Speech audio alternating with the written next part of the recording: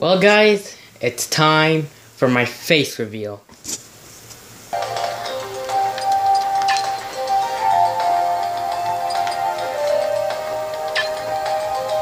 April Fools! Ha ha ha ha!